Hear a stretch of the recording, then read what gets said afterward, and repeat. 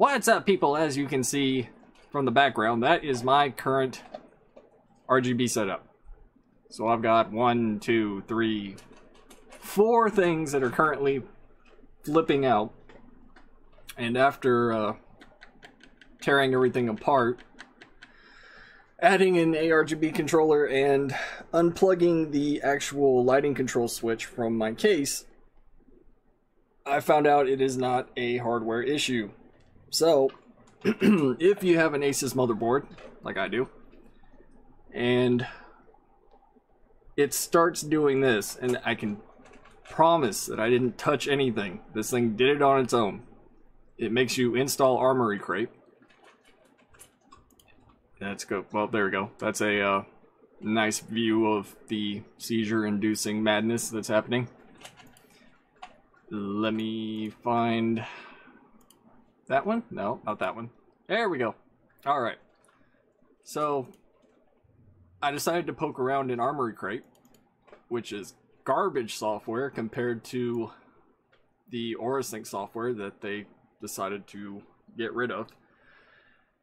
And after two hours of pulling things apart and unplugging things and checking them one by one and still having this thing flip out, it comes down to this.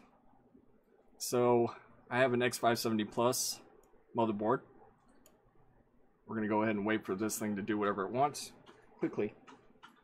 I'm busy. Can you? Alright, well the cat wants to be in the video. Uh, and this is gonna take a while. Now, one thing to keep in mind is that, again, I didn't touch anything. This thing was working just fine the other day. So on the motherboard section, if you look at addressable headers, you can see that this thing is set to Gen 2 for some reason. Right? I didn't set it to Gen 2. So let's go ahead and set it back to Gen 1. Okay. I'm going to give it a second. And actually, I can show you guys. We'll just give it a second. Bam. Everything is working just fine.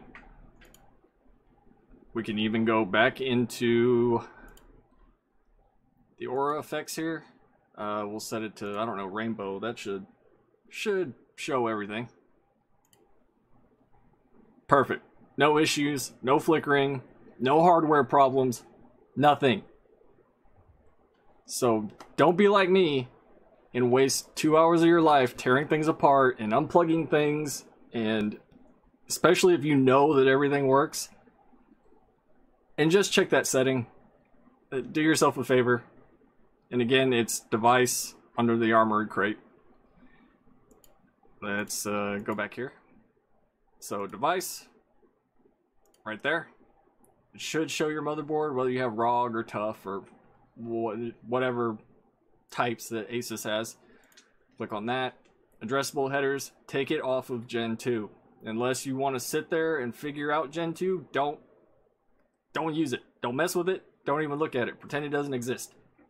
Because it doesn't. But other than that, yeah. Hopefully uh hopefully that helps some of y'all out because I almost threw my case out the window trying to figure this out. Oh, yeah. Quick video. Just trying to give people a heads up here. Oh, another fun fact. Asus also installs... Let's see if it decided to put it back there since I did did update Armoury Crate. So the aura lighting effects, of course, that's that's fine. We don't want to touch that. Uh, LED sync, that's EVGA stuff. Okay, so it didn't put it back. Now the ROG live service, you do need that.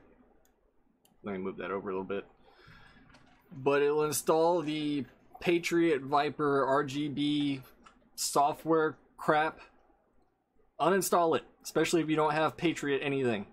There was also one more here that I had to get rid of, so just after you install Armoury Crate, if you do any sort of updates, check your control panel programs and features and make sure there's no extra garbage that they've decided to slap on there for no reason whatsoever. And yeah, hopefully this helps people out.